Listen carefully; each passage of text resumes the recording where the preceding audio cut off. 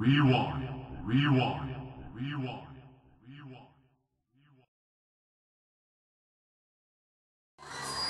The next song is something from Gary Newman.